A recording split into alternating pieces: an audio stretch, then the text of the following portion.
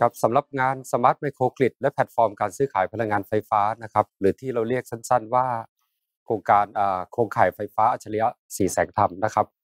ก็เป็นงานภายใต้ Quick Win Project ของตัวคุภาพใหญ่ก็คือ โครงการ BCG นะครับโดยงานเนี้ยเรามีพันธมิตรนะครับที่มาร่วมทำงานด้วยหลายภาคส่วนนะครับ ตั้งแต่สำนักงบประมาณนะครับ กระทรวงมหาดไทยนะครับ การไฟฟ้าฝ่ายผลิต การไฟฟ้าส่วนภูมิภาค มหาวิทยาลัยอุบลราชธานีนะครับ แล้วก็ยังมีหน่วยงานอื่น ๆ อีกหลายหลายภาคส่วนนะครับ ที่ไม่ได้เอ่ยอที่เรายังไม่ได้เอ่ยชื่อในที่นี้นะครับ ส่วนภายในสวทชกันเองนะครับ ก็เกิดงานดังกล่าวเนี่ยก็เป็นการบูรณาการนะครับ งานวิจัยจากหลาย ๆ ศูนย์แห่งชาตินะครับ ทั้งไม่ว่าจะเป็น n t e c h นะครับ n e c t e c h นะครับ Biotech นะครับ แล้วก็ทำงานร่วมกับทางวัดป่าศรีแสงธรรม แล้วก็โรงเรียนศรีแสงธรรมนะครับ โดยงานนี้นะครับจะตัวตัวงานนะครับจะอยู่ที่วัดป่าศรีแสงธรรมนะครับอำเภอโขงเจียมจังหวัดอุบลราชธานีนะครับจุดเด่นของงานงานนี้นะครับก็จะอยู่ที่ระบบ Smart Microgrid นะครับซึ่งมันจะเป็นระบบสำหรับการบริหารจัดการไฟฟ้าภายในโครงข่ายนะครับพร้อมทั้งกับเราได้พัฒนาตัวแพลตฟอร์ม ตลาดกลางซื้อขายไฟฟ้า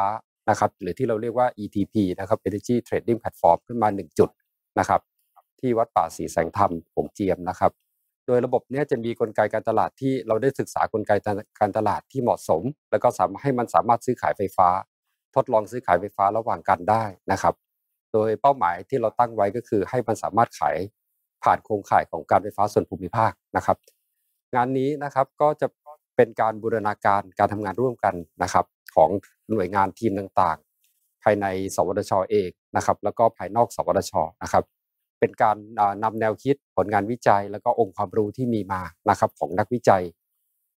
จากศูนย์แห่งชาติต่างๆภายในสวทชนะครับมา implement ใช้งานจริงนะครับ แล้วก็อีกอันหนึ่งก็จะเป็นตัวผลงานอันที่สองก็จะเป็นข้อเสนอแนะเชิงนโยบายนะครับ เกี่ยวกับมาตรการการสนับสนุน การซื้อขายไฟฟ้าแบบ peer to peer นะครับ เพื่อรองรับการประยุกต์การซื้อขายไฟฟ้าระหว่างไมโครกริดนะครับ ผ่านโครงข่ายของ ไฟฟ้าระดับชาติเช่น NEDP นะครับอย่างเป็นรูปธรรมอีกหนึ่งงานนะครับ ระบบ Smart Microgrid ดียังไงนะครับ อันแรกเนี่ยภายในระบบ Smart Microgrid นะครับจะมีผู้บริโภคที่เราเรียกว่า prosumer นะครับ ผู้บริโภคเนี่ยสามารถเป็นผู้ผลิต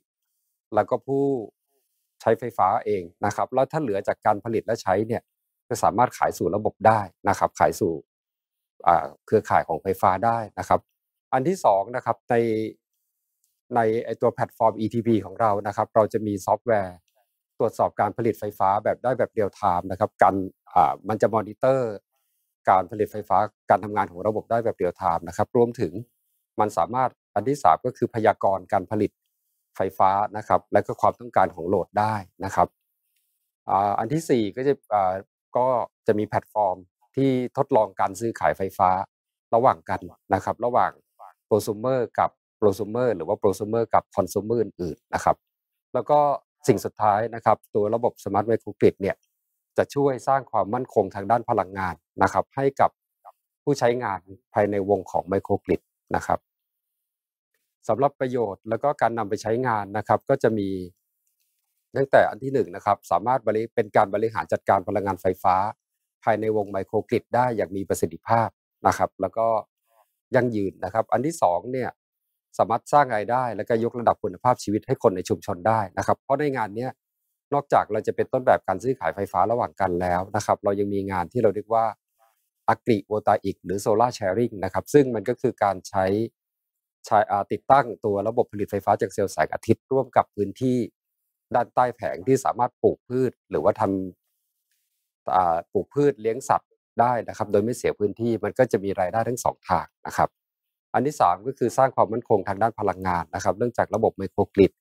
ก็จะมีส่วนใหญ่ก็จะมีในงานของเราเนี่ยมันจะมีระบบกักเก็บพลังงานด้วยนะครับ แล้วก็ระบบบริหารจัดการพลังงาน เพราะฉะนั้นถ้าเกิดเหตุการณ์ไฟตกไฟดับ หรือเหตุการณ์ความผิดปกติที่เกิดจากสายส่งขึ้นมา ภายในวงไมโครกริดเนี่ยก็ยังสามารถมีไฟฟ้าใช้ได้เหมือนเดิมนะครับ แล้วก็อันที่สี่จากงานต้นแบบของเราเนี่ยมันก็จะเป็นตัวอย่างของการก้าวเข้าไปสู่สังคมคาร์บอนต่ำ ก็คือสามารถผลิตพลังงานใช้ได้เองภายใน แล้วก็เหลือสามารถส่งออกข้างนอกได้นะครับ ขายออกข้างนอกได้ ในขณะเดียวกันแหล่งพลังงานที่เราผลิตเนี่ยก็จะเป็นแหล่งพลังงานทดแทนที่ลดการปลดปล่อยก๊าซคาร์บอนไดออกไซด์นะครับตัวนี้ก็จะเป็นภาพบรรยากาศการดำเนินงานนะครับ ก็ตั้งแต่เริ่มต้นนะครับ ทางทีมก็ได้เข้าไปสำรวจนะครับกับพื้นที่นะครับ ก็เป็นทางร่วมกับหลายคณะครับทั้งไม่ทั้งการไฟฟ้าฝ่ายผลิตนะครับ การไฟฟ้าส่วนภูมิภาค เข้าไปรับฟังโจทย์ความต้องการของทางวัดแล้วก็โรงเรียน สีแสงธรรมนะครับ แล้วก็เริ่มการทำงานนะครับ ก็จะอย่างที่นำเสนอก่อนหน้านี้แล้วนะครับ ก็จะมีเป็นการทำงานร่วมกันหลายภาคส่วนในนี้ก็จะยกตัวอย่างเป็นทีมวิจัยต่างๆนะครับ ไม่ว่าจะเป็นจากไบโอเทคนะครับ หรือทางเน็กเทคนะครับ ที่มาให้องค์ความรู้เอางานผลงานวิจัยนะครับ มาใช้ในงานดังกล่าวนะครับ ก็มันมีหลายงานนะครับของ n e c t e c h ยกตัวอย่างทีม DAT นะครับก็จะเอาผลงานที่เราเรียกว่า Ambient Fit นะครับมามาเป็นระบบมอนิเตอร์สภาพแวดล้อมนะครับ เพื่อให้มีการจ่ายน้ำให้กับแปลงผักหรือในโรงเรือนได้อย่างอย่างอัตโนมัตินะครับ รวมถึงตัวทีมของ n t e c h นะครับก็จะมาดูแลหลักๆ ในเรื่องของตัวซอฟต์แวร์ การซื้อขายไฟฟ้าภายในวง microgrid นะครับ ระบบบริหารจัดการไฟฟ้าภายใน นะครับ ตัวนี้ก็จะเป็นภาพตัวอย่างของตัวที่เราเรียกว่า agrivoltaic หรือ solar sharing นะครับแผงโซลาเซลล์ที่เราใช้ก็จะเป็นผลงานวิจัยของทีมนะครับที่ของทีมวิจัยทั้ง n e c t e c h แล้วก็ n t e c h นะครับ ก็จะเป็นแผงสีซึ่งงานดังกล่าวนะครับ ก็ได้ถูกนำมาใช้งาน แล้วก็เราจะเห็นว่าพื้นที่ภายใต้แผงนะครับ ยังสามารถปลูกพืชได้นะครับ ปลูกพืชได้เหมือนอ่าได้ ซึ่งจะแตกต่างกับโซลาร์ฟาร์มหรือ solar roof ทั่วไปโซลาร์ฟาร์มทั่วไปเนี่ยพื้นที่ข้างใต้เนี่ยเราเนื่องจากตัวโครงสร้างมันไม่ได้ยกสูงนะครับ พื้นที่ข้างใต้เนี่ยก็ไม่สามารถทำกิจกรรมอะไรได้นะครับ แต่ด้วยคอนเซปต์ของตัวงานดังกล่าว solar sharing หรือ agrivoltaic นะครับเราสามารถปลูกผักที่มีมูลค่าสูงนะครับ ปลูกพืชเราสามารถปลูกผักภายใต้แผงได้นะครับ แล้วเราพบว่าตอนนี้ที่เราสังเกตได้อันหนึ่งก็คือ พืชผักที่อยู่ใต้แผงนะครับ บางส่วนที่มีเงาจากแผง บางบ้างในบางเวลานะครับ ก็จะมีการเติบโตของพืชที่สูงกว่าพืชที่โดนแดดเต็มๆทั้งวันนะครับ ซึ่งตรงเนี้ยเราก็ยังต้องทำการเก็บข้อมูลต่อไปนะครับ ตัวนี้ก็จะเป็นภาพพืชผักตัวพืชมูลค่าสูงนะครับ ที่ปลูกในโรงเรือนนะครับ ก่อนหน้านี้จะเป็นภาพที่ปลูกภายกลางแจ้งนะครับ ภายในโรงเรือนนะครับโรงเรือนก็จะเป็นผลงานอ่าโรงเรือนที่เราเรียกว่าพฤกษาสบายนะครับของทางทีม DECC สวทชนะครับ ภายในโรงเรือนเราก็จะปลูกผักที่มีมูลค่าสูงนะครับ ยกตัวอย่างเช่นไม้ดอกกินได้นะครับ พวกโบราณแล้วก็พืชพันธุ์อื่น ๆนะครับ ซึ่งราคาพืชพวกนี้ราคาขายตามท้องตลาดเนี่ยจะราคาสูงมากนะครับ ตกขายกันตกหลักเป็นขีดขีดละหลายสิบบาทนะครับ ก็จะเป็นการสร้างมูลค่าให้กับทาง ทางเกษตรกรหรือทางผู้ผลิตนะครับ ก็ท้ายที่สุดนะครับ งานดังกล่าวนะครับ จะไม่สามารถเกิดขึ้นเนี่ยแล้วก็ทำงานได้อย่างสำเร็จสมบูรณ์นะครับ ถ้าปราศจากความร่วมมือของหน่วยงานพันธมิตรต่าง ๆนะครับ ทั้งภายนอก สวทชเองนะครับ รวมถึงหน่วยงานต่างๆ ภายในศูนย์